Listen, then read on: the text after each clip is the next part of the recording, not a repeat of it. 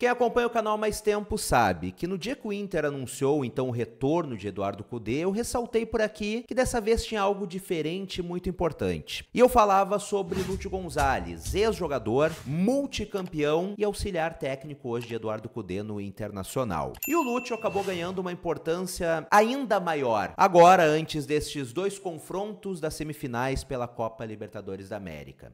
Isto porque além de auxiliar de Kudê e multicampeão, é sempre importante ressaltar que é um cara que entende o que acontece dentro das quatro linhas e também entende muito bem o que acontece no vestiário.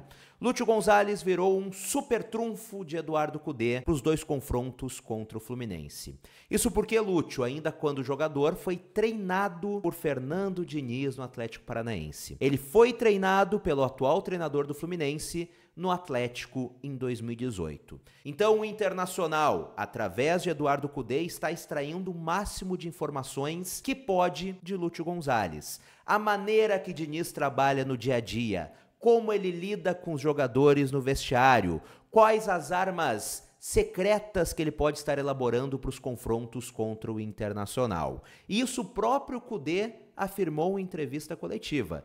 Disse que tem perguntado tudo diariamente para o Lúcio Gonzalez, tudo sobre Fernando Diniz, para entender o que, que o treinador do Fluminense e da seleção brasileira pode estar tramando, aprontando para enfrentar o Internacional. Com isso, o Inter pretende ter um passo à frente do Fluminense, ter um fator extra que eles não têm, sabendo o que se passa na cabeça de Fernando Diniz e como utilizar isso, como explorar isso para se classificar para a final da Copa Libertadores da América. Então, Lúcio Gonzalez, neste momento, além de auxiliar, é um super trunfo de Eduardo Cudê para a Libertadores. E com a chegada do lateral esquerdo Dalbert, alguns colorados têm se perguntado o que, que aconteceu com Tauan Lara. Afinal, ele carregava uma grande expectativa por parte da torcida colorada. Um jogador que sempre se mostrou muito bom nas categorias de base, inclusive fez parte de seleções de base.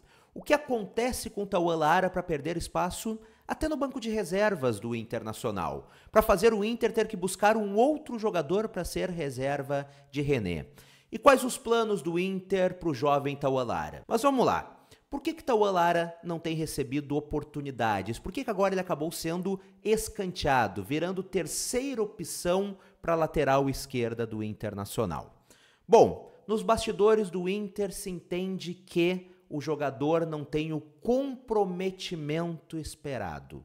O jogador não apresenta o comprometimento que o Internacional, Eduardo Cudê e sua comissão técnica esperam dele. É um jogador que enfrenta problemas de peso e nós estamos em setembro de 2023, mais na reta final do ano do que no início do ano, e ele ainda enfrenta problemas de peso. Então, por estes problemas, por esta, por este entendimento de falta de comprometimento, ou por este entendimento de jogador não ter o comprometimento desejado, ele acaba ficando de fora dos planos do Internacional. Ele acaba ficando fora dos planos de Eduardo Cudê. Fora dos planos, o que, que o Inter então pretende para Taualara? Vai seguir treinando por aqui? O que, que vai acontecer com ele? Bom, o Inter pretende emprestar o jogador. O Inter procura um clube para emprestar Taualara para que ele possa ganhar mais oportunidades, para que ele possa ganhar mais rodagem, ficar mais cascudo, para que talvez posteriormente ele possa voltar ao clube em uma condição melhor, com uma cabeça melhor, com um físico melhor e ser melhor aproveitado. Nesse momento, ele está completamente fora dos planos do Inter e o Inter já procura um clube para emprestar o jogador. E agora, para a gente encerrar uma informação em primeira mão para ti que está me acompanhando. Quem acompanha o canal há mais tempo sabe, como eu disse no início do vídeo, lá no início do ano, antes de todo mundo falar, eu trouxe por aqui uma informação exclusiva de que o Internacional estava tentando a contratação de Ener Valência. Quem acompanha aqui mais tempo sabe e acompanhou tudo isso. E eu apurei a seguinte informação: que o Inter fez uma sondagem pelo atacante Bruno Henrique do Flamengo. Dispensa comentários, multicampeão, joga muita bola. O Inter procurou o staff do jogador porque o contrato dele com o Flamengo acaba no final desse ano. Ou seja, ele já pode assinar um pré-contrato com qualquer outro clube. Diante disso, o Inter então demonstrou o interesse pelo jogador e procurou maiores informações sobre Bruno Henrique. Ele seria o grande nome para jogar ao lado de Ener Valência na próxima temporada. Mas o que o Inter ouviu foi o seguinte: que a pedida salarial dele é de um milhão e meio de reais por mês. Além disso, caso o Bruno Henrique feche com qualquer clube, além de um milhão e meio por mês, o jogador também quer luvas na assinatura do contrato. Ou seja, um atleta com uma enorme qualidade, que agregaria demais, mas um jogador muito caro.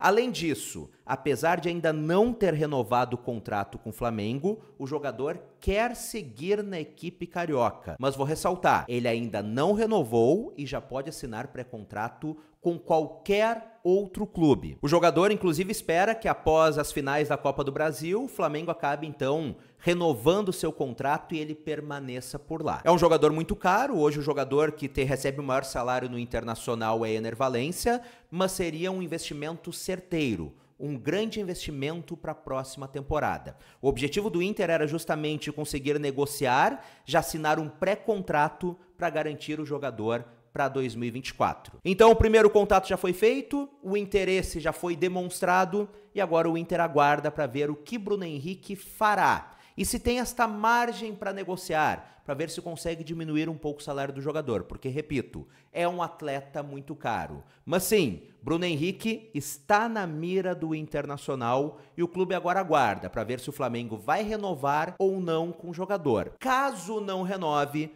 o Inter deve fazer uma proposta oficial pelo atleta. Eu sempre gosto de reforçar: sondagem não é proposta, sondagem é um primeiro contato para demonstrar interesse, para saber mais informações. O Inter fez uma sondagem por Bruno Henrique, ou seja, procurou o Bruno Henrique para saber mais informações, mas ainda não fez uma proposta oficial. E antes de encerrar o vídeo, eu te convido a comentar aqui embaixo. Tu acha que Bruno Henrique vale esse investimento pesado? O Inter deveria gastar tanto para ter um jogador deste tamanho como é Bruno Henrique? Ou o Inter deve gastar menos e procurar outros jogadores? Comenta por aqui e vamos trocar aquela ideia. E se tu ainda não é inscrito no canal, clica aqui embaixo em inscrever-se e ativa as notificações no sininho. Um grande abraço, até a próxima e tchau, tchau!